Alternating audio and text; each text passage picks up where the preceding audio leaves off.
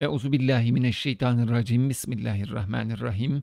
Tekasür suresiyle karşınızdayız tefsir özetlerinde. Tutkularımız, hırslarımız bizi kesin gerçeği görmekten engellememeli. Kesin gerçek nedir peki? İşte bu soruyla bu sureyi açabiliriz. Kesin gerçeğin ne olduğunu e, bakmaya çalışacağız bu sure kapsamında ve e, genişleyen alanında. Tutkularımızın, hırslarımızın bizi nasıl etkilediğine bakmaya çalışacağız ve sonrasında sureyi anlamaya çalışacağız. Önce hakkında bölümüne bakalım. Eee, bu kısmı biliyorsunuz eee, Diyanet'in eee, Kur'an yolu tefsirinden alıyorum. Mekke döneminde inmiştir. Medine dönemi diyen de var fakat dikkate alınmamış pek. 8 ayet tekasür, mal, mülk ve çoluk çocuğun çokluğuyla övmek anlamlarına geliyor. Eee, nüzulüne baktığımızda Musaf'taki sıralamada 102. iniş sırasına göre 16. suredir. Kevser suresinden sonra Maun, Maun suresinden önce Mekke'de inmiştir deniliyor. Medine'de indiğine dair rivayetler de var. Eee, Buhari'de de geçiyor. Konusuna kısaca göz attığımızda surede insanların hayatın aldatıcı yönleriyle meşgul olmalarından, dünya malını biriktirmeye olan düşkünlüklerinden ve ahiret hallerinden söz edilmektedir. Fazileti de var. Fazileti gerçi Kur'an yolunda yazmıyor ama diğer tefsirlerde yer aldığı için ben buraya hemen kısacık aktarayım diyorum. Tefsir usulünde surelerin faziletlerine dair söylenen şeyleri de kulağınıza olsun diye hemen şunu hatırlatayım. Surelerin faziletlerine dair olan rivayetlerin çok büyük bir bölümü 90'la %90'dan daha büyük bir bölümü maalesef uydurma rivayetler. Burada da yine bir rivayet var. Uydurmadır değildir bilmiyorum. Fakat, eee, işte, ben kısacık alayım o bölümü. Eee, 1000 ayet okumak gibidir denilmiş Tekasür suresini okumak.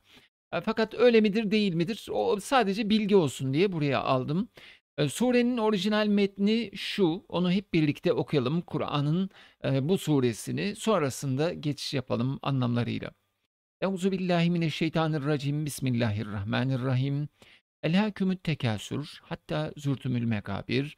Kella sevfe ta'lemun, sümme kella sevfe ta'lemun, kella lev ta'lemûne ilmel yakîn, leteravunnel cahim, sümme leteravunneha aynel yakîn, sümme letüselünne yevme izin anin naim.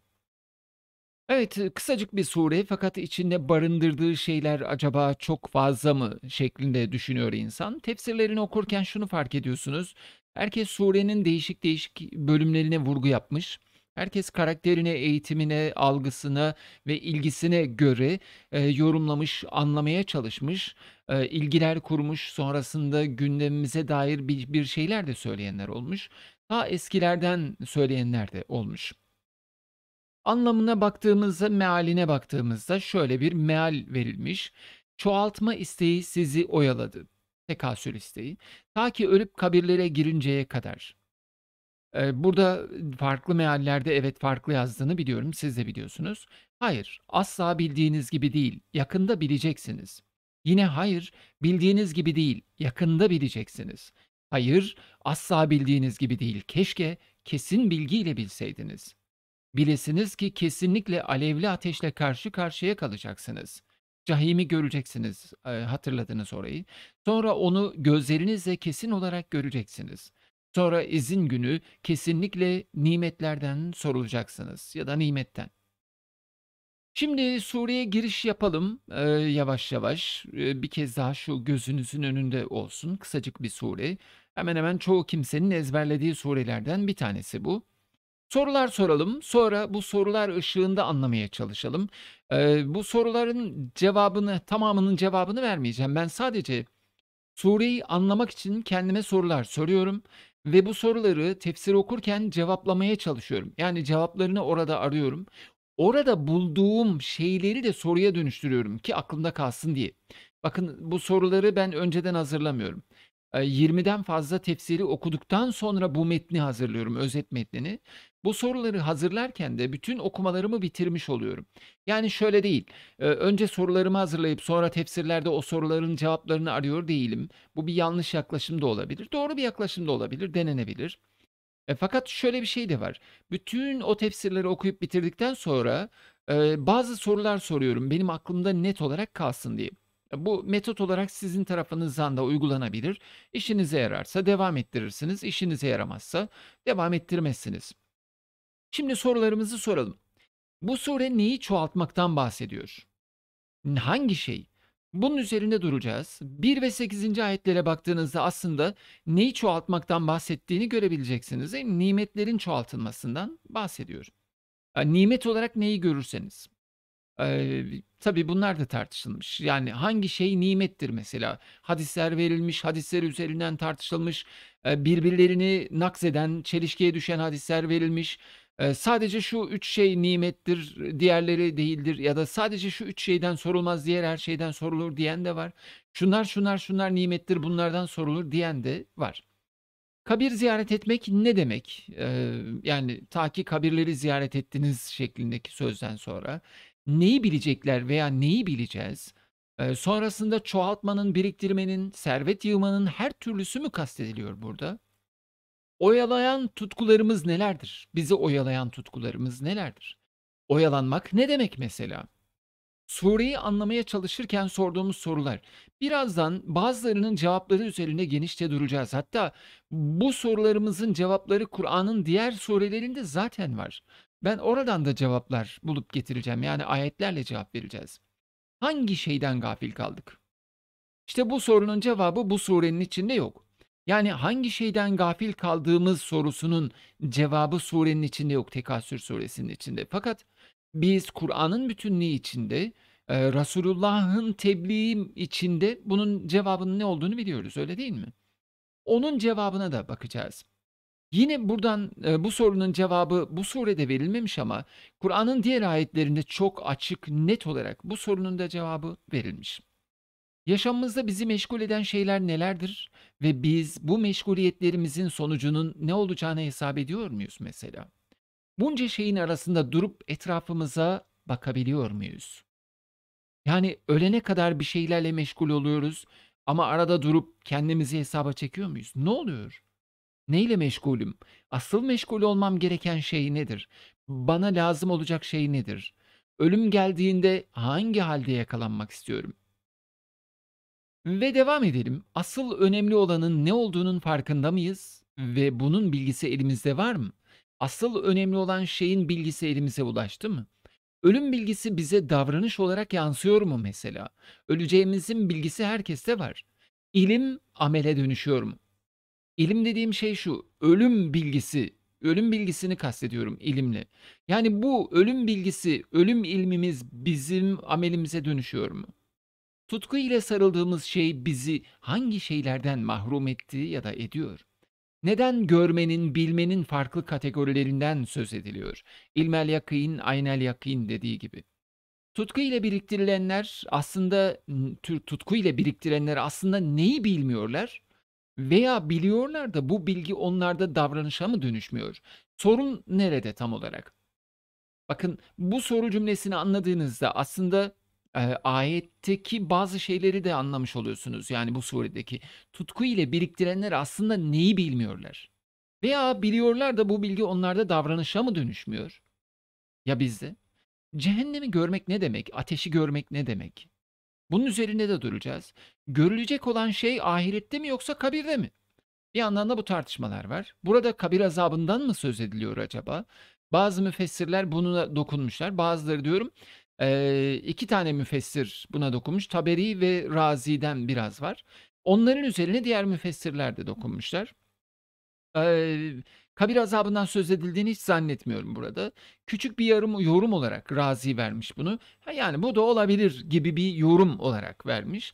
Fakat bazı rivayetlerle Taberi desteklediğinde çok daha ilginç hale gelmiş. Hazreti Ali'nin sözü olduğunu söylüyorum mesela. Biz bu ayetleri okuyana kadar Hazreti Ali şöyle söylüyor. Bakın biz bu ayetleri okuyana kadar kabir azabından şüphe içindeydik. Bu ayetleri okuduk ve kabir azabından şüphemiz kalmadı diyor. Taberiye göre tabii. Şimdi sormak lazım yani Hazreti Ali'nin e, kabir azabından nasıl şüphede olduğunu tabii ilk dönemdir falan filan diyeceksiniz ama Resulullah söylediyse nasıl yani ilk dönem olması olmaması ne hiç fark etmez. Ee, Tekasür suresi gelene kadar da zaten e, çok başlarda inen bir sure. E, Peygamberimiz daha sureler iner inmez kabir azabından mı bahsetti onlara ya da kabir azabı bilgisi Hazreti Ali'ye nereden geldi? Her neyse bunları tartışacak değilim fakat şunu söyleyeyim. Kabir azabını anlatan bütün e, hemen hemen kaynakları okumaya çalıştım. E, ve delilleriyle birlikte görmeye çalıştım. Aralarında bir tane bile Tekasür suresi yoktu kabir azabının delilleri arasında. Artık koyabilirler belki hani böyle araştırmadan sonra. Her nimet hesap sorulmasını mı gerektiriyor? Bu da bir başka soru. Müfessirler de üzerinde çokça durmuşlar. Hangi nimetlerden sorguya çekileceğiz? Bütün nimetlerden mi acaba? Surenin son ayetini hatırlayın. Kabirleri ziyaret etmek kötü müdür mesela? Ee, burada e, bu hüküm çıkarılabilir mi? Kabir ziyaret etmenin hükmü nedir? Müfessirlerden bazıları kabir ziyaret etmenin hükmüne dair de pek çok şey söylemişler. Herhalde siz net olarak şunu anlamışsınızdır. Bu surede kabir ziyaret etmenin hükmüne dair herhangi bir şey söylenemez, herhangi bir şey çıkarılamaz. Peki müfessirlerden bazıları neden böyle bir şey yapmışlar? Döneminin tartışmalarını bize aktarmışlar. Ee, Resulullah'ın bir dönem kabirleri ziyaret etmeyi yasakladığını sonra serbest bıraktığını söylemişler. Konumuzla alakası olmayan bir e, hadise ve bu başka bir bağlamda konuşulmalı. Şimdi gözden kaçan sürece bakalım ve anlama çizelgemizi de buna göre oluşturduğumuzu ben söyleyeyim. Yani benim anlama çizelgem şu gözden kaçan süreçle ilgili. Ee, ben sürece çok önem veriyorum. Çünkü hayat bir andan, bir yıldan, bir günden, bir aydan ibaret değil. Hayat dediğimiz süreç bir ömürden ibaret. Bu ömürle alakalı. Yani bir an gaflette olmamız, ya da bir yıl gaflette olmamız, bir yıl dalıp gidenlerle birlikte dalmamız, bir yıl hırslarımızla birlikte etrafımızı görmeden cehennemlikmiş gibi yaşamamız sonucu belirlemiyor. Ta ki ölüp gidene kadar bu halden bahsediyor Allah. Bir süreçten bahsediyor. Yani anladınız zannederim. Şimdi okuyalım o zaman. Bir tek eylemle veya hayatın bir bölümünde olan gaflet veya tutku ve hırslarla bu sonuç elde edilmiyor. Tekasür suresinde bir sonuç var değil mi? Bir eylem ve bir sonuç. Eylemin tekliği değil, kesintisiz bütünlüğünden bahsediyorum. Bakın, tekil bir eylemden bahsetmiyoruz Tekasür suresi. Sen çok mal kazandın öyleyse cehennemliksin. Sen çok mal kazandın ve bu malını çok sevdin öyleyse cehennemliksin. Hayır, bir süreçten bahsediyor. Ta ki ne zamana kadar? Mezarlara varana kadar, ölene kadar diyelim. Böyle bir süreç yaşamış ve bir sonuç elde etmiş. Eee, cehennemi görecek ve bütün nimetlerden de tek tek hesaba çekilecek.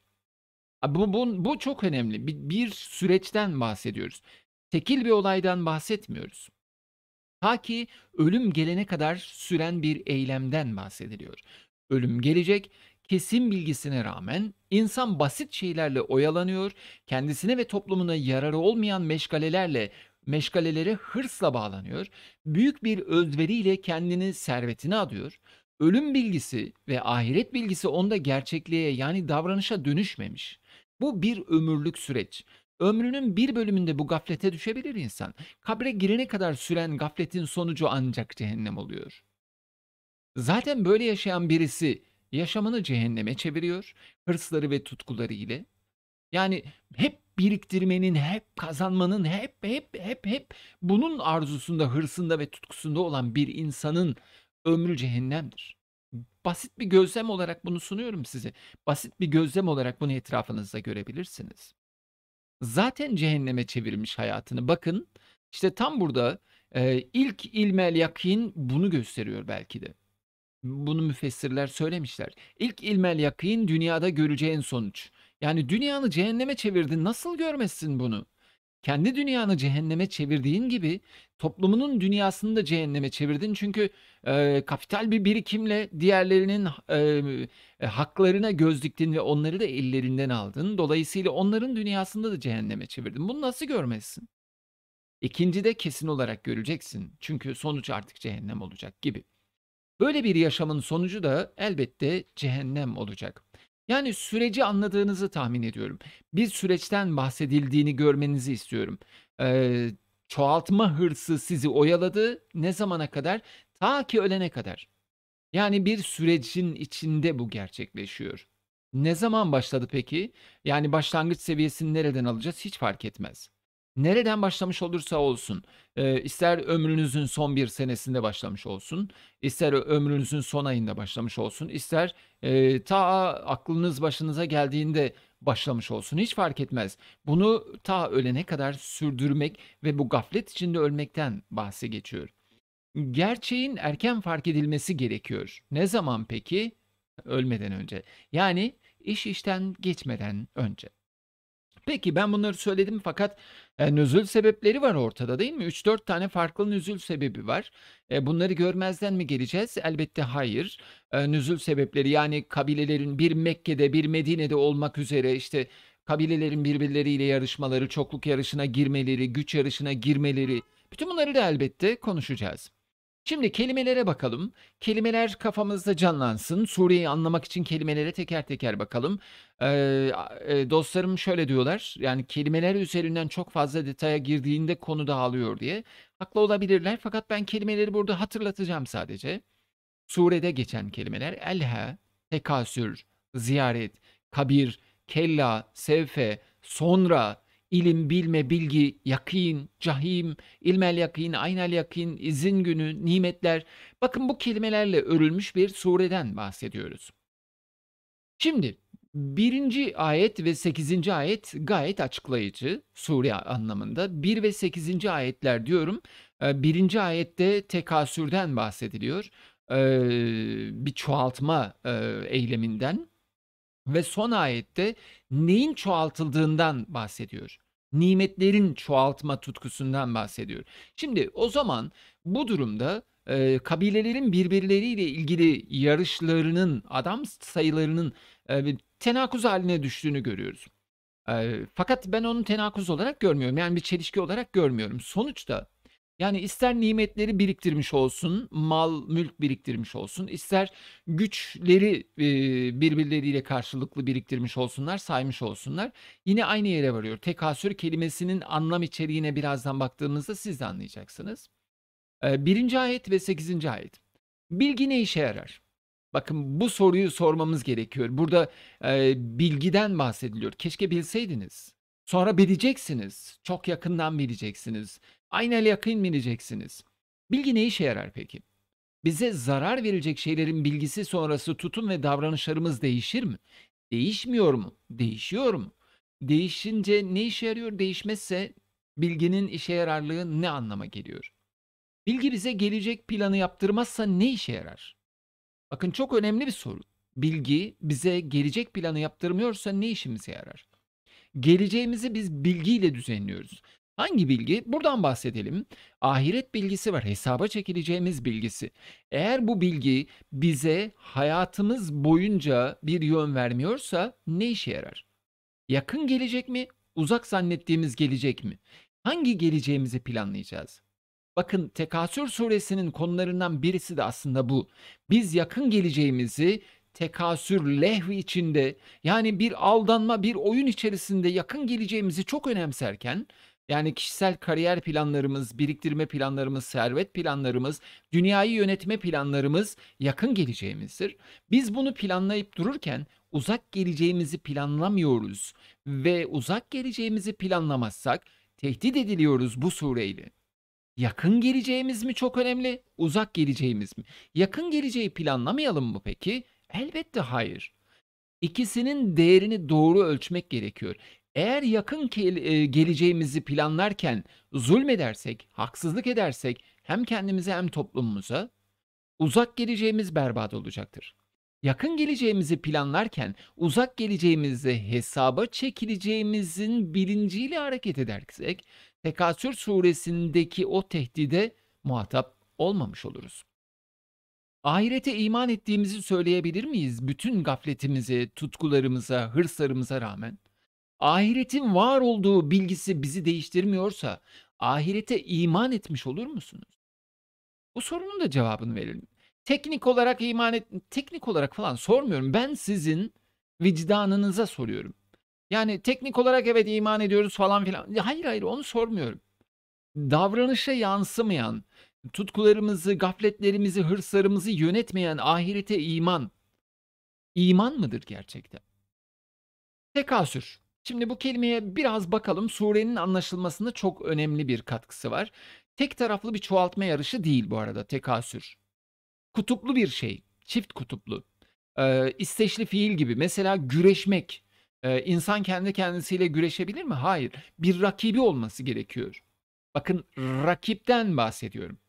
Sözleşmek. İnsan kendi kendisiyle de sözleşir fakat öyle değil. Ee, bir tarafı olması gerekiyor sözleşmenin. İsteşli fiil. Dertleşmek, dertleşecek birinin olması gerekiyor. Yarışmak, yarışacak bir şeyin olma, birinin olması gerekiyor. Yüzleşmek, yüz yüze durabilecek bir kişi daha olması gerekiyor. Savaşmak, iki tarafın karşılıklı cedelleşmesi. Ee, tekasür kelimesinin de bu tür kelimelerden olduğu söyleniyor. O zaman e, nüzul bağlamındaki kabilelerin e, yarışmaları çok daha anlamlı hale geliyor. Yine e, nimetlerin çoğaltılması bağlamında düşünürsek, nimetler neden çoğaltılıyor? Bir yarış kapsamında çoğaltılıyor, öyle değil mi? Onun var, benim de olsun, onun da ondan daha çok olsun. Bir yarış halinde çoğaltılıyor. Toplumunuza bir bakın, evinize bir bakın, ailenize bir bakın, mahallenize bir bakın, akrabalarınıza ve toplumunuza bir bakın. Yarışma psikolojisi ve güdüsüyle biz mallarımızı çoğaltıyoruz aslında. Bu bir yarış, bir çoğaltma yarışı ve bu çoğaltma yarışı ömrümüzü alıyor bizden. Ömrümüz böyle geçerse de sonunda cahimi göreceğiz ve bütün bu nimetlerden sorulacağız. Ne işe yaradı bütün o nimetler yarış halinde çoğaltıp durdunuz? Sizi dünyaya nimetleri çoğaltıp onlarla yarışın diye mi gönderdik gibi bir alt metni olabileceğini düşünüyorum. Olabileceğini düşünüyorum. Olabilir diyorum. Belki diyorum. Bakın bütün bunlara dikkatinizi çekmek istiyorum. Mal, güç, lüks ve benzeri biriktirme tutkusu ahlaksızca bir eylemden de bahsediliyor burada aslında. Çünkü e, bütünüyle biriktirmenin e, bir ayıplanır tarafı, bir hesabı sorulur tarafı yok. Ahlaksızca bir eylemden bahsediyoruz burada. Neden ahlaksızca bir eylemden bahsediyoruz? Çünkü tutkuyla ve hırsla, hırsla yaptığınız biriktirme eylemi e, maalesef ahlaksızca bir eyleme kapar alıyor. Eğer e, yüksek bir amaç için yapsaydınız bunu, bütün ahlak, ahlaki kurallar içinde yapmak zorunda kalacaktınız ve bu zaten tekasüre girmeyecekti. Şimdi devam edelim. Biriktirmek, çoğaltmak, yığmak e, kelimesiyle, tekasür kelimesiyle neleri konuşuyoruz? Bu buna da sorular soralım. Bakın hep ben sorular sorarak gidiyorum ve cevaplar arıyorum, bulmaya çalışıyorum. Biriktirilen şeyler sizin işinize yarıyor mu? Biriktirdiğiniz ne varsa ben kendim için düşünüyorum, siz kendiniz için düşünün ve ya da bir sosyolog gözüyle toplumunuz için düşünün. Biriktirilen şeyler işe yarıyor mu? İşinize yarıyor mu? Yığılan servet başkalarının işine yarıyor mu? Eee, ve çoğaltılan mal başkasından mı çalındı? Çoğaltılan mal başkasının haklarından mı gasp edildi? Yükseltilen rütbe, bakın sadece mal değilmiş değil mi çoğaltmak? Rütbelerinizi de yükseltmeye çalışıyoruz. Bir kendi üzerimden söyleyeyim. Rütbelerimizi de yükseltmeye çalışıyoruz. Yükseltilen rütbe görevlerin tam yapılmasına sebep oldu mu peki? Ben bugün, eee, bilmem ne, işte, eee, sorumlusuydum da yarın bilmem ne müdür olursam, eee, görevlerin tam yapılmasına mı sebep olacak, benim yükselmeme mi sebep olacak sadece? Yani neden yükselmeyi istiyorsunuz? O işin çok daha iyi yapılabileceğinden dolayı mı yoksa ya ben yükseleyim, ben olayım, ben onunla yarışıyorum, ben neden geride kaldım tutkusundan dolayı mı? İşlerin çok daha iyi yapılmasını istiyorsanız başka yöntemleri var. İlla sizin yükselmeniz gerekmiyor oraya. Öyle değil mi? İlla sizin orada olmanız gerekmiyor işin daha iyi yapılmasını istiyorsanız. Başka yöntemler de var, başka yollar da var. Ve sonra biriken gücü ne için, nasıl kullandık? Bir güç biriktirdik, çoluk çocuk biriktirdik, mal biriktirdik ve fakat onu nasıl kullandık acaba? Bu soruların cevapları şunun cevabını bulmak için Tekasür suresindeki tehdit beni vuracak mı? Biriken gücümü, biriken mallarımı nasıl kullandım? Kapitalizm eleştirisi mi peki bu sure? Kapitalizme de bir eleştiri var mı bu sure ile birlikte? bilenler, konuya uzman olanlar, konuyla alakası olanlar bir düşünsünler. Ben kapitalizm eleştirisinin de bu surede olabileceğini düşünüyorum. O yüzden yazdım. Eee, peki kapitalizmin tamamı sırf safi kötülük müdür yoksa kapitalizm aynı zamanda iyilik de getirir mi insanlığa? Size demiyorum. Yani tekil olarak konuşmuyorum. Eee, kapitalizm olmasaydı bugünkü gelişim seviyesine ulaşabilir miydik? Peki kapitalizmle birlikte bugünkü gelişim seviyesine ulaştık da bugünkü gelişim seviyesi insanlığın beklediği, hedeflediği faydalı bir gelişim seviyesi miydi? Bu soruların cevapları ucu açık su cevaplar.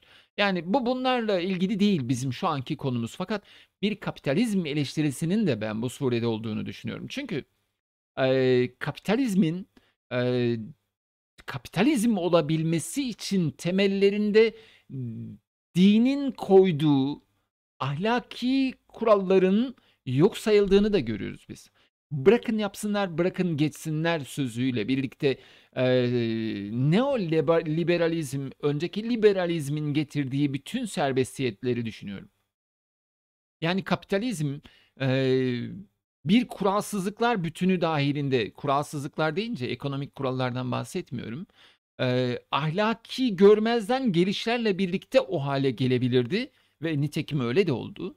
Eee, demek ki burada bir kapitalizm eleştirisi de arayabiliriz. Belki bulabiliriz. Olabilir. Bunları neden üstüne basa basa söylediğimi bir kez açıklayayım. Eee, insanlardan bazıları eleştiriyor. Hükümler koyuyorsun, şöyle yapıyorsun, böyle yapıyorsun, asıyorsun ki. Ben en baştan beri tefsir özetlerinde hep bu usulü kullanmaya çalışıyorum. Olabilir belki. Böyle de anlaşılma ihtimali var. Ben böyle anlıyorum. Belki siz başka anlarsınız. Bunu söylemeye çalışıyorum. Yani benim söylediklerim doğrudur, dışına taşmayın gibi bir saçmalığa önce benim düşmemem lazım. Çünkü bu bu saçmalık. Kendimi niye aptalın yerine koyayım? Yani bö böyle bir şey ilk defa benim zihnimde karşılık bulmuyor. Bir başkasında böyle bir karşılık aramam, ahmaklığın daniskası olur. Öyleyse, o kelimelerime dikkat edin. Yani hüküm, ahkam kesmiyorum burada. Olabilir diyorum. Böyle bir kapitalizm eleştirisi de burada olabilir, aranabilir, belki bulunabilir. Eee, bulunursa bile yanlış da çıkma ihtimali var. Fakat doğru çıkma ihtimali de var. Biz buradan yani sure bağlamından yola çıkarak bir kapitalizm eleştirisi geliştirebiliriz. E, fakat sureyle hiçbir bağ kalmamış da olabilir artık bu kapitalizm eleştirisinin. Olsun ama biz bu düşünceden yola çıkarak yani surenin bağlamından yola çıkarak bir kapitalizm eleştirisi geliştirebilir ve bir yeni dünya düzeni ortaya koyabiliriz. Yeni bir düşünce ortaya koyabiliriz. Bir fikirle ortaya çıkıyor kapitalizm, bir fikirle ortaya çıkıyor liberalizm, bir fikirle ortaya çıkıyor sosyalizm. Biz bunları ortaya koyabiliriz. Demek istediğimi anlatabildim zannederim. Eee, burada bir belkiler üzerinden, bir ihtimaller zinciri üzerinden gidiyorum. Serbest bir akış var. Eee, bağlayıcı bir akış yok.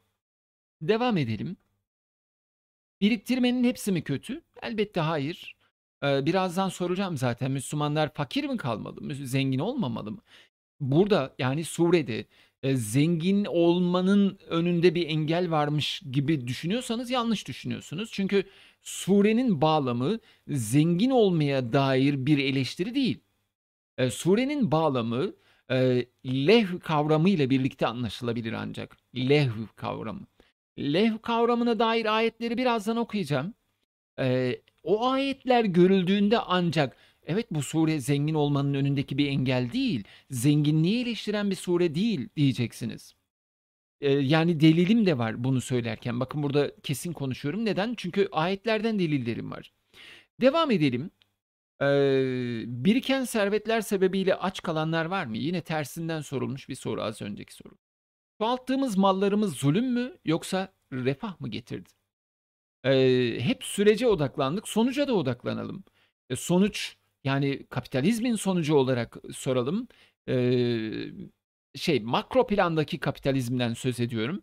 Makro plandaki kapitalizm refah mı getiriyor, zulüm mü getiriyor? Dur şimdi dönelim mikro planda. Yani sizin kapitalinizin sonucunda refah mı geldi yoksa zulüm mü geldi?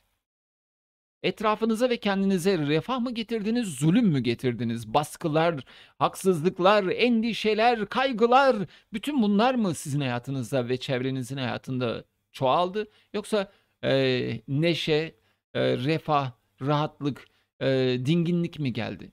Ben, eee, servetle birlikte gelen bir dinginlik çok fazla hatırlamıyorum. Görmedim de, örneğini de okumadım, örneğini de yaşamadım.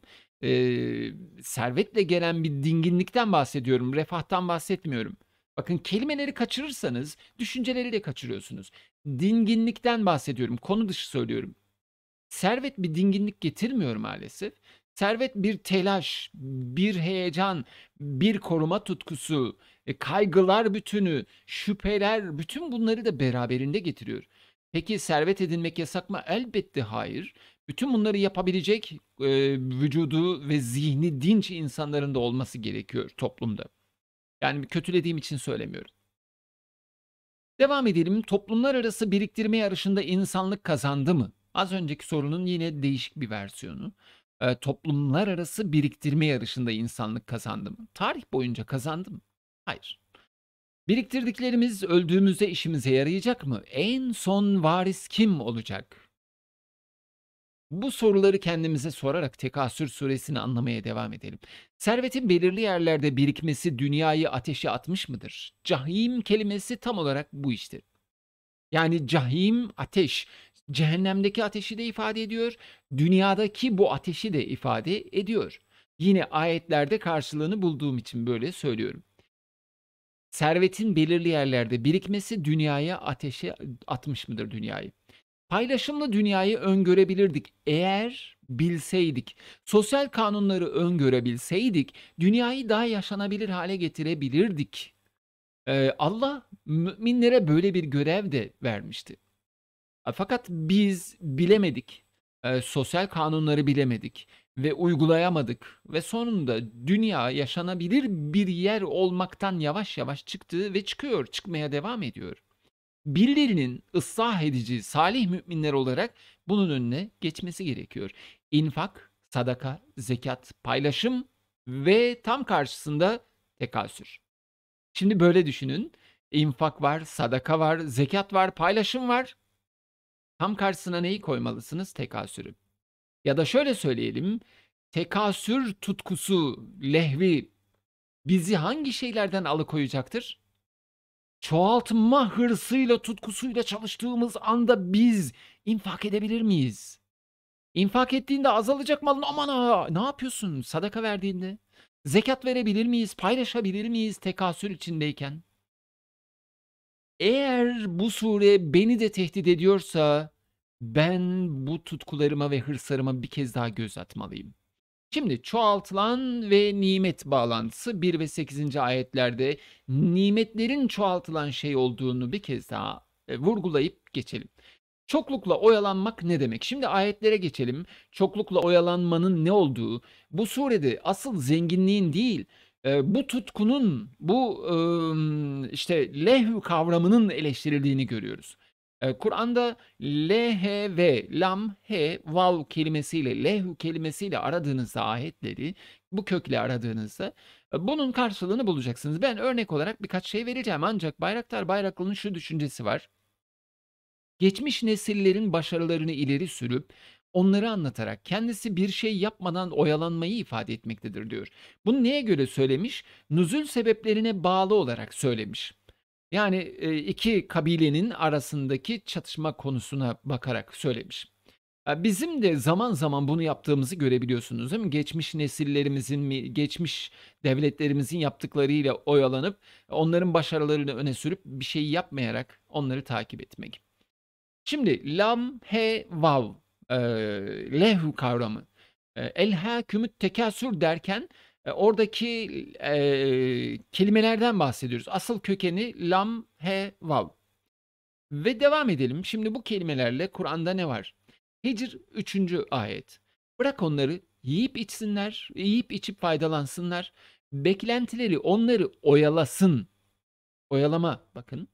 Fakat yakında gerçeği anlayacaklar. Neredeyse Tekasür suresinin içeriği öyle değil mi? Nur 37. Öyle kimseler vardır ki ne mal ne de alışveriş onları Allah'ın buyruklarına uymaktan, salatı ikame etmekten ve zekatı vermekten alıkoyar. Az önce ne koymuştuk infa- şey tekasülün karşısına? Sadaka, infak, paylaşım. Buradaki ayet ne diyor? Burada Tekasür suresindeki eleştirilen tipin bu sefer övülen tipe dönüştüğünü görüyoruz. Tam tersi yaptığı şeylerle. Farkında mısınız? Nur 37'ye Tekasür suresiyle birlikte okuyun. Tekasür suresinde yerilen tip Nur 37'de tam tersi bir tip olarak bize tanıtılıyor. Öyle kimseler vardır ki Rabbim bizi bu kimselerden eyle. Bize bilinç ver, bize davranışlarımızda azim ver ve bizi Nur 37'deki insanlardan yap. Öyle kimseler vardır ki ne mal ne de alışveriş onları Allah'ın buyruklarına uymaktan, salatı ikame etmekten ve zekatı vermekten alıkoyar. Onlar kalplerin ve gözlerin alt üst olacağı günden korkarlar. Anladınız mı? Ee, ben tam olarak Tekasür suresini Nur 37 ile birlikte anlıyorum. Durum bitmedi ama. Hadit 20 var, Münafıkun 9 var. Onlarla birlikte de anlayacağız daha e, Tekasür suresini. Hadit 20'ye bakalım. Bilin ki dünya hayatı bir oyundur, bir oyalanmadır, bir lehvdir. Yani aynı kelimeyi kullanıyor. Aranızda bir zinettir, bir övünmedir. Mallarda ve çocuklarda çokluk yarışıdır. Neymiş? Tekasür suresini anladınız mı şimdi? Onun durumu bitirdiği bitkilerle kafirlerin hoşuna giden yağmur gibidir. Ardından o bitkileri kurur, onları sararmış görürsün. Sonra da çerçöp olurlar. Ahirette şiddetli bir azap da Allah'ın hoşnutluğu ve bağışlaması vardır. Dünya hayatı ise aldatıcı bir metadan başka bir şey değildir. Ve 20 şey Münafıkun 9. ayet. Ey iman edenler buyur Allah'ım. Ey iman edenler dediğiniz dediğinde ayetlerin Resulullah hep böyle davranırmış.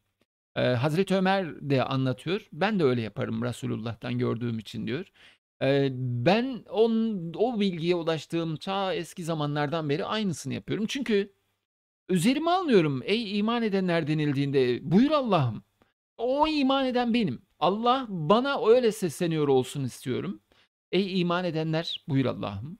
Mallarınız ve çocuklarınız sizi Allah'ın öğütlerini dinlemekten alıkoymasın.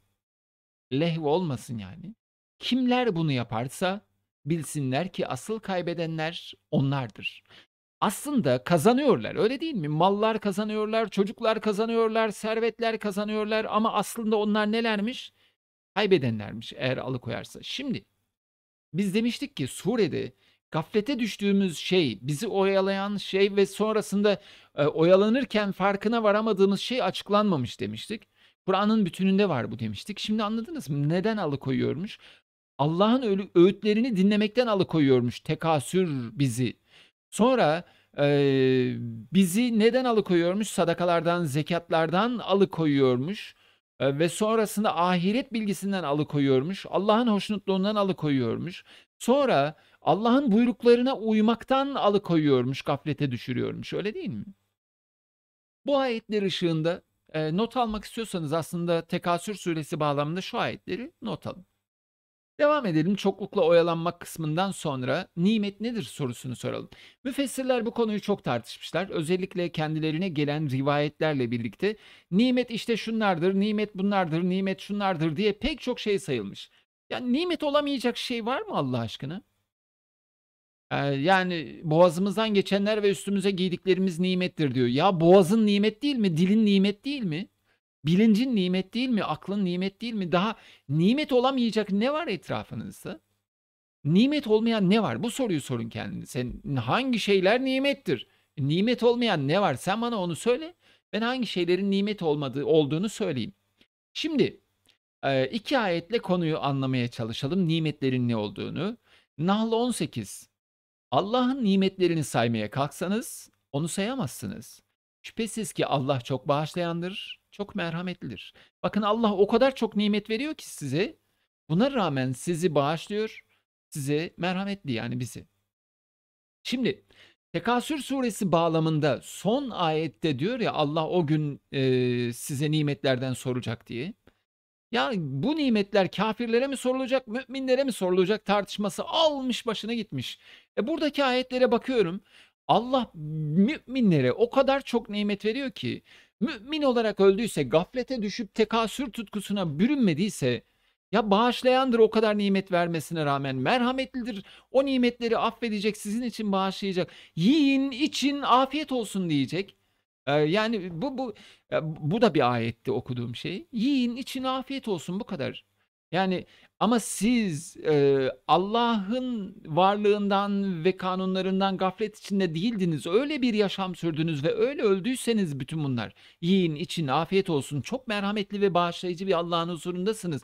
Ne kadar çok nimet vermiş olursa olsun bunlardan sorulmayacaksınız. Onlar zaten sizin içindi ve fakat Tekasür suresine döndüğümüzde nimetler verildi. O bu nimetlerden gaflet içinde bütün ömrünü nimetlere, eee, eee, göz dikerek geçirdi ama artık öldüğünde ve diriltildiğinde o nimetlerden hesaba çekilecek. Bakın, nimetlerden hesaba çekilmemek istiyorsanız gaflet içinde yaşamayacak, mümin olarak yaşayacaksınız. Nimetlerden hesaba çekilmek için de nimetleri birinci sıraya koyacaksınız. Birazdan tekrar konuşacağız ama şunu söyleyeyim. Siz yüzünüzü nimetlere çevirdiğinizde Sırtınızı Allah'a dönmüş olursunuz. Bakın daha önceki surelerde de bunu söyledim. Yüzünüzü çevirdiğiniz yere dikkat edeceksiniz. Yüzünüzü çevirdiğiniz yer dikkatinizi çekiyor ama siz neye sırtınızı döndünüz acaba? Bir de arka cepheniz var. Yüzünüzü Allah'a döndüğünüzde nimetlere sırt çevirmiş oluyorsunuz. Böyle anlaşılıyor tersinden. Fakat siz yüzünüzü Allah'a dönün yeter ki. Nimetler yanı başınıza gelecek. Onlar sizi takip edecekler. Siz mutluluğu takip ettikçe, kovaladıkça mutluluğu yakalayamayacaksınız. Siz yüzünüzü başka yüksek hedeflere çevirdiğinizde mutluluk gelip sizi yakalayacak. İbrahim 34'e bakalım. Hasılı o, kendisinden dilediğiniz her şeyi verdi. E, yani Allah. Öyle ki Allah'ın size verdiği nimetleri birer birer saymaya kalkarsanız mümkün değil. Onları sayamazsınız. Gerçekten insan zalim ve nankördür. Bütün bu nimetlere rağmen e, haksızlık eder insan. Allah'a haksızlık eder, insanlara haksızlık eder ve nankörlük eder. Elindeki nimete bakmadan başka nimetlere göz dikmek de nankörlük etmektir bir yönüyle. Nankörlüğün pek çok çeşidi gibi. Şimdi cahim kelimesiyle birlikte ne anlatılmaya çalışılmış? Burada bir e, ilahiyat, teoloji kelimesi mi? Yani bu ahiretteki ateşi mi anlatıyor? Yoksa sosyolojik bir kelime mi? Yani dünyadaki ateşi mi anlatıyor? Sosyal ateşlerden mi bahsediyor? Ben böyle de düşündüm. Eee, bazı müfessirler de bu bunun işaretlerini koymuşlar. Dünyadaki ateş mi yoksa ahiretteki ateş mi bu cahim, görülecek olan? Çünkü, eee, burada ateşi göreceksiniz diyor. Ama şöyle de cevaplamak lazım. Ben hem ahiretteki ateşten hem de dünyadaki ateşten bahsedildiğini düşünüyorum. Bakın buraya ne yazmışım? Olabilir mi dedim. Eee, yani hem ahiretteki ateşten Yevmeyez'in günündeki hem dünyadaki ateşten bahsediliyor olabilir mi? Bakın emin olamamışım fakat bunu yazmışım böyle. Evet ben bunun olabileceğini düşünüyorum. Bir ihtimal olarak söylüyorum ki oradaki cahim hem dünyadaki ateşin hem de ahiretteki ateşin görülmesinden e, ibaret olduğunu düşünüyorum. Şöyle ki birinci e, ilmel yakin olan e, ateş iş işten geçmemişken görülebilen dünyada yaktığımız servet biriktirme sırasında dünyada yaktığımız dünyaya verdiğimiz ateş ki bunu öngörebilir ve engelleyebilirdik. İkincisi de iş işten geçtikten sonra hesap günü, hesabının sorulacağı gün e, karşılaştığımız ateş. Artık ondan e, kurtuluş yok. Devam edelim. Sekülerizme bakalım şimdi de. Sekülerizm ne demek? Ee, toplumda ahiretten ve diğer dini, ruhani meselelerden ziyade dünya hayatına odaklanılması yönündeki hareket. Yani şey kısaca özetlersek Allahsız bir yaşam biçimi. Yani Allah yokmuş gibi yaşam biçimi. Eee, yaşarken, eee, alışveriş yaparken, evlenirken, alırken, satarken, gezerken, çalışırken, karşılıklı ilişkilerimizde, eee, Allah'ın kurallarına göre değil de, eee, takım insanların belirlediği, günün, şartların getirdiği kurallara göre davranmak. Yani Allah'ı dünya işlerine karıştırmamak. Sekülerizm böyle bir şey.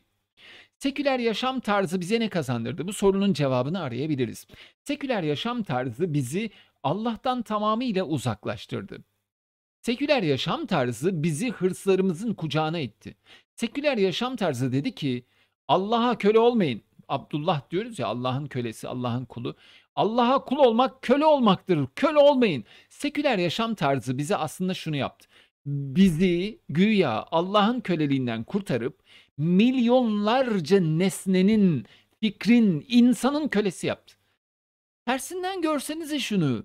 Yani bir Allah'a köle olmak varken o bizi milyonlarca nesnenin, insanın, fikrin kölesi yaptı. yani bir düşünsenize. Allah da aynı şeyi söylüyor. Bir köle var ortada. Ee, bu kölenin bir sahibi var. Bir köle var ortada. Bu kölenin on sahibi var. Hangi kölenin daha özgür yaşayabileceğini bir düşünsenize.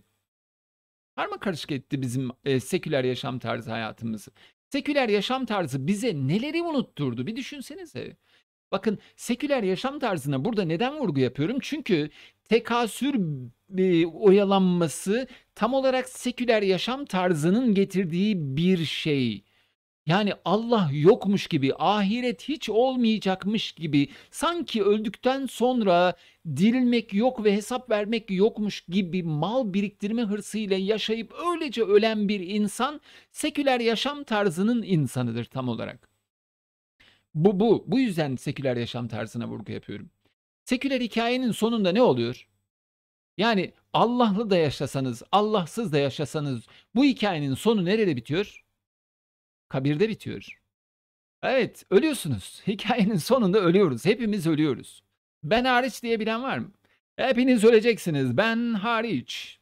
Yani yok öyle bir şey. Hepimiz öleceğiz. Hikayenin sonu böyle bitiyor. Böyle bir hikaye insanı tatmin ediyor mu? Yani o kadar çok biriktirdim ki, o kadar çok güç elde ettim ki, o kadar falan filan falan filan. Yahu öleceğim. E bütün bunlar geride mi kalacak? Biriktirdiklerinden ayrılmak bilgisi insanda haz bırakır mı düşünsenize. O kadar şahane şeylere sahip oldunuz, elinizde kullanıyorsunuz ama her an ölüm gelip onları sizden ayıracak. Nasıl haz duyabilir insan? Ancak şöyle haz duyabilir. Bu elindekileri paylaşırsa, bu elindekilerin geçici bir menfaat, geçici bir faydalanma olduğu bilincine varırsa, bu elindeki kazanımlarını, güçlerini, nimetlerini, mallarını, çocuklarını ancak yüksek bir menfaat uğruna, yüksek bir amaç uğruna kullanacağı bilinci içinde olursa ve bir daha söylüyorum paylaşırsa, paylaşırsa, paylaşırsa işte o zaman ölüm bu güzelliklerin tadını bozamaz. Zaten geçici olan bir şeye sahip olduğu bilinciyle hareket eder bu kez insan.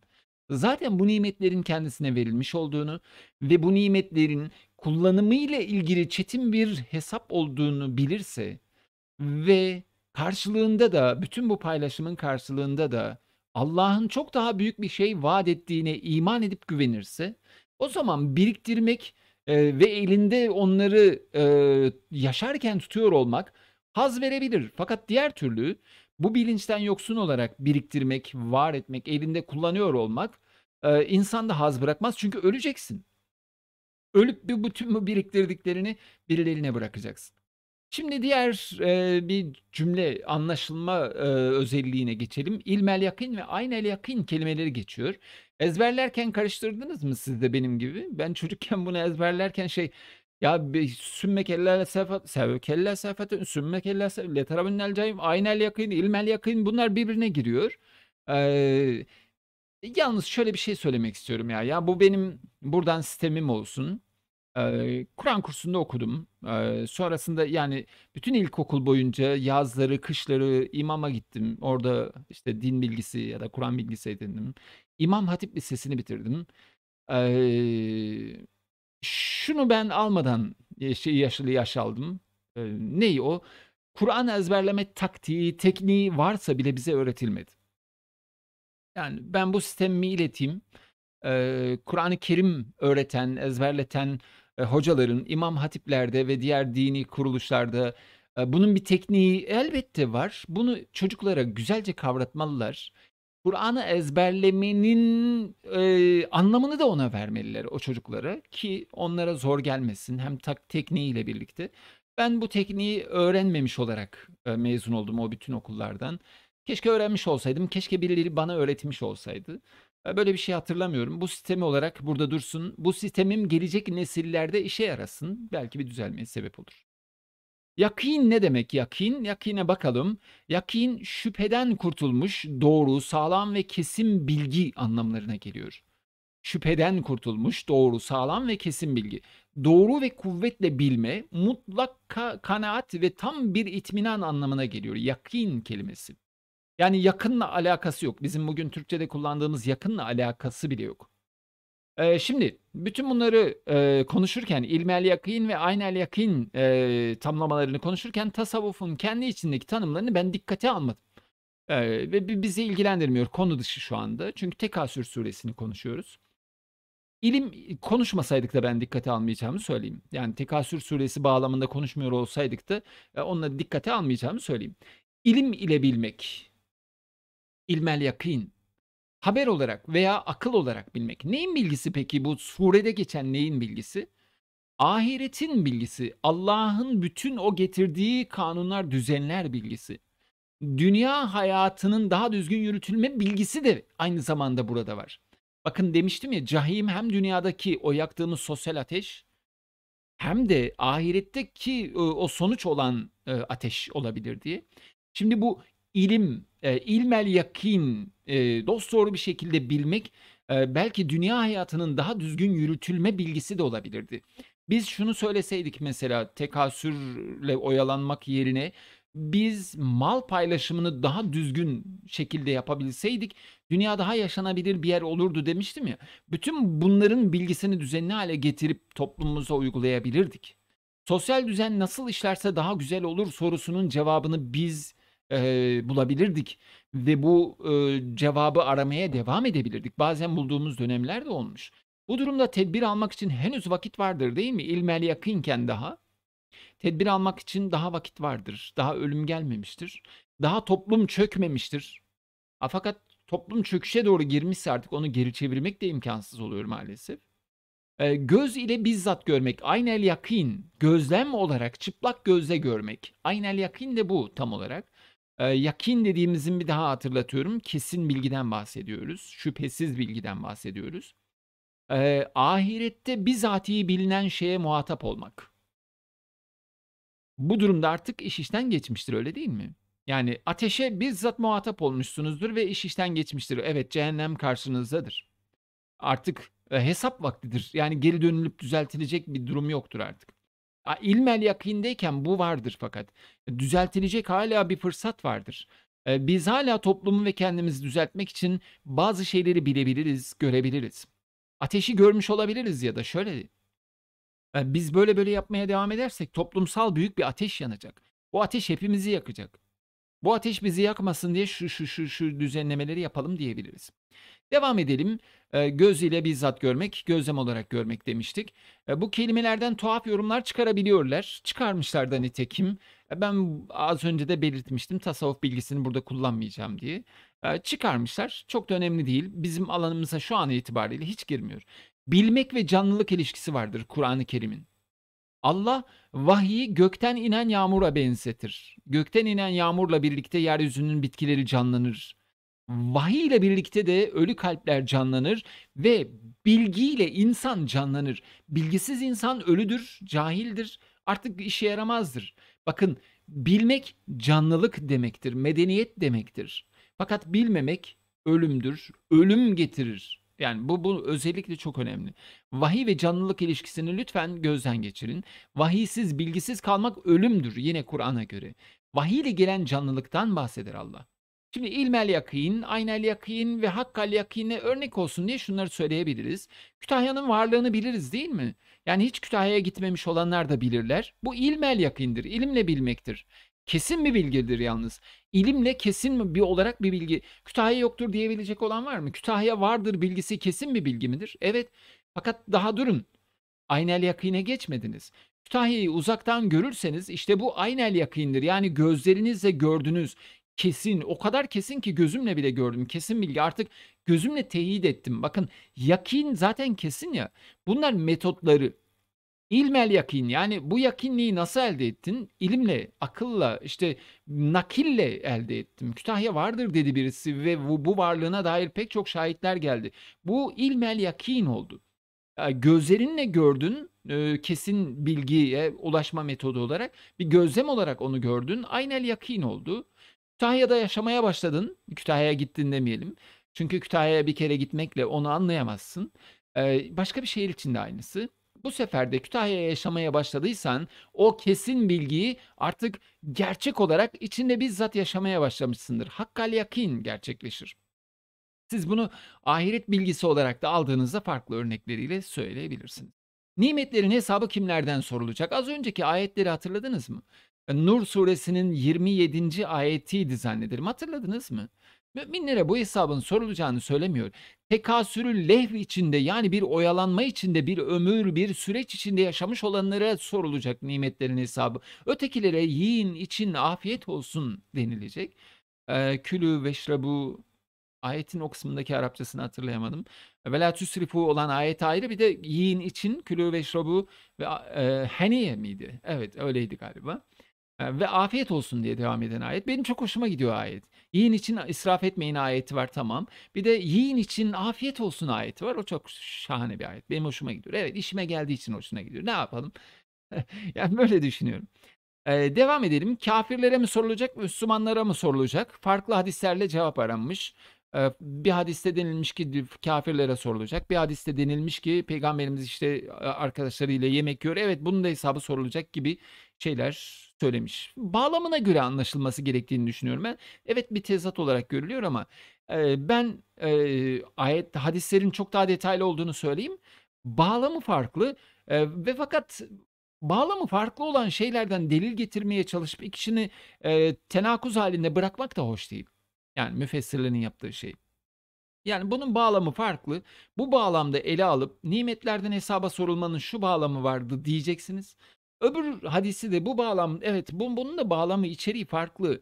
Ee, yani konusu farklı. O yüzden bunun nimetlerden sorulma ile ilgili yeri ayrı demek gerekiyorken hepsini arka arkaya verip koydunuz mu?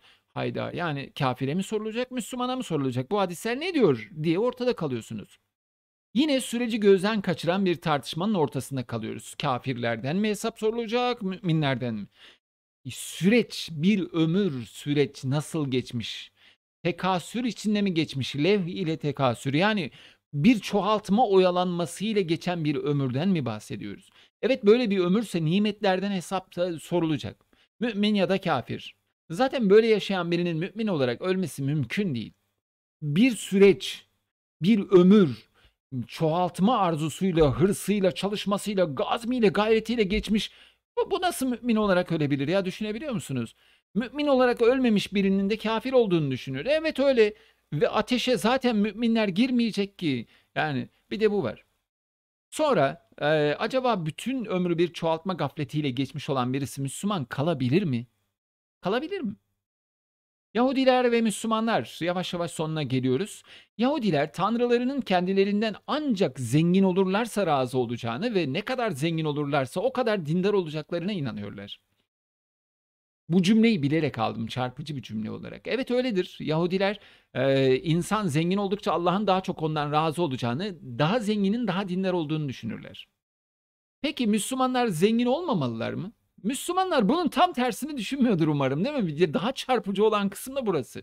Müminler tam tersini düşünmesinler. Ne kadar fakir olursak Allah bizi o kadar seviyor. Hayır böyle bir şey yok. Böyle bir çıkarımı ne ayetlerden ne hadislerden yapabilirsiniz. Bakın Yahudi mantığının tam tersini alarak daha iyi mümin olamazsınız. Bu surenin bağlamı da bu değil zaten. Müslümanlar fakir mi kalmalı? Bunun dinle alakası nedir? Yok. Müslümanlar fakir kalsın demez Allah. Ve Tekasür suresi de bu bağlamda değildir. Bakın burada sureninle ilgili yanlış anlamaları tenzih etmeye çalışıyorum. Surenin konusu iman edenlerin fakir kalması mı yoksa birilerinin mal hırsına teslim olması mı? Elbette birilerinin mal hırsına teslim olması burada eleştiriliyor. Yoksa iman edenlerin zenginliği, fakirliği falan konu değil. Şimdi hıza bakalım. Hız dediğimiz şey nedir? Sureden dolayı ben hız başlığını koydum oraya. Sure o kadar hızlı geçiyor ki ömür gibi. O kadar kısa ki sure, yaşamdan sonra çok hızlı biçimde ahirete geçiyor. Eee, bakıyorsunuz surenin başında "Elhâkumut tekâsür" yani yaşayıp duruyor. Bir biriktirme arzusuyla hızlı yaşıyor, yaşıyor, yaşıyor. Surenin hemen 8. ayetine bakıyor. Ana cehenneme gelmişiz. Yani ömür tamamlanmış, hesaba geçmişiz. Ne kadar hızlı bir geçiş oldu fark ettiniz mi? Hızdan kastım buydu. Ömür kısa. O yüzden hemen şimdi bu gafletimizi sorgulamalı ve uyanmalıyız. Nimetler konusunda bir dengeden bahsediyoruz burada. Nimetler hepimiz için. Hepimiz için mümin veya kafir. Araf 32 de ki Allah'ın kulları için çıkardığı zineti ve temiz rızkları kim haram etmiş? Haram mıymış müminlere e, temiz rızıkların, nimetlerin o- onların eline geçmesi? Hayır. De ki bunlar dünya hayatında iman edenlerindir. Kıyamet günü ise yalnızca onlara aittir. Bilen bir topluma ayetleri böyle detaylı olarak açıklıyoruz. Gördünüz mü? Mü- Müminler fakir mi kalmalıymış? Hayır elbette değil. Müminler de nimetler içinde yüzebilirmiş. Peki kuralları neydi? Az önce eee, ayetler, leh ve ayetleri bağlamında okumuştuk hatırlayın. Not alın demiştim size orayı. İşte orayı bir kez daha okursanız göreceksiniz. Nimetler konusunda dengeyi ancak vahiy ile kurabiliriz. İnfak, sadaka, zekat, hayatın faniliği, nimetlerin sahibinin Allah olması bilinci, bütün bunların bizi dengeye sürükleyen şeyler. O kadar gafil kalıyoruz ki nimetleri elde etmede dinimizin ana kaynaklarını bile öğrenme fırsatımız olmuyor. Yani çoğaltma hırsı bizi öyle oyalıyor ki biz dinimizin ana kaynaklarını bile bir ömür boyunca okuyamıyoruz. Kur'an'ı bir ömür boyunca eline alıp da anlama çabasına girmemiş insanlar var. Böyle ölmüş insanlar var. Ben onlardan olmak istemem. Sadece nimetlere ve onların birikmesine yüzümüzü çevirmişsek sırtımızın döndüğü yere dikkat etmeliyiz bir kez daha. Şimdi nüzul sebepleriyle ilgili olanları şöyle bir hemen yorum yap geçeyim. Dört nüzul sebebi sayılmış. İkisi kabilelerin adam sayması, ikisi ise nimetlerden sorulması ile ilgili. Hadisler var demiştim ya nimetlerden sorulma. Bu, bu dört tane e, nüzul sebebi sayılmış. Maalesef hiçbirisi buradaki konuyu tam açıklayıcı değil. Sadece konunun bir yönüne vurgu yapıyor nüzul sebepleri. E, nuzulün hususuli e, neydi? Yani iniş sebebinin çok hususi özel olması e, bizim o hükmün e, kamuya açık olmasına, herkese açık olmasına engel değil. İlgili ayetlere bir kez daha bak öyle bitirelim. Hücurat 13. Ey insanlar buyur Allah'ım. Çünkü e, böyle söylemek oldu mu şimdi? Hayır. E, Ey insanlar tabiri Kur'an'da gelende genelde hep olumsuz kullanılmıştır. Burada e, çok az nötr olarak kullanılan yer var Hücurat suresinde. Çok az nötr olarak kullanılmış insan insan tabiri. E, ve burada nötr olarak kullanılan yerlerden bir tanesi. Ey insanlar sizi bir erkek ve bir dişiden yarattık. Birbirinizle tanışmanız için sizi kabilelere ve sülalelere ayırdık. Allah'ın yanında en kerim olanınız, en çok takva sahibi olanınızdır. Kuşkusuz Allah her şeyi bilendir, her şeyden haberdardır. Yarışacaksanız hangi şeyde yarışacağınızı da buradan çıkarabilirsin. Evet haşrla bitirelim. Bu bir dua olarak bitirelim bunu. Bir dua bilinci olarak. Onlardan sonra gelenler Rabbimiz bizi ve bizden önce iman ile göç etmiş kardeşlerimizi bağışla derler. Kalplerimizde iman edenlere karşı kin bırakma. Rabbimiz kuşkusuz sen çok şefkatli, rahmeti kesintisizsin derler. Şimdi dua edelim ve bitirelim artık. Tekasür suresi bağlamında bir dua aklımıza gelecek olsa Rabbim bize ahiret bilincini ver ve bu bilincin bizim ömrümüze yansımasına izin ver. Rabbim ahiret yokmuş gibi yaşayanlardan olmaktan sana sığınıyoruz. Rabbim bizim mallarımız konusundaki hakimiyetimizi e, özgürlük bilincine dönüştür. Biz mallarımızdan özgür olalım. Verebilelim, özgürce mallarımızı verebilelim infakla, sadakayla, zekatla. Bizim mallarımız bizim sahibimiz değil, biz mallarımızın sahibi olalım. Bu konuda bize yardım et. Bizi ve neslimizi mallarının sahibi olanlardan eyle. Mallarının kendisine sahip olanlardan olmasınlar inşallah. Bize Kur'an'ı çok sevdir. Bize Resulünü çok sevdir. Bize namazı ve cihadı çok sevdir. Amin. Bir başka programda görüşmek temennisiyle. Hoşçakalın.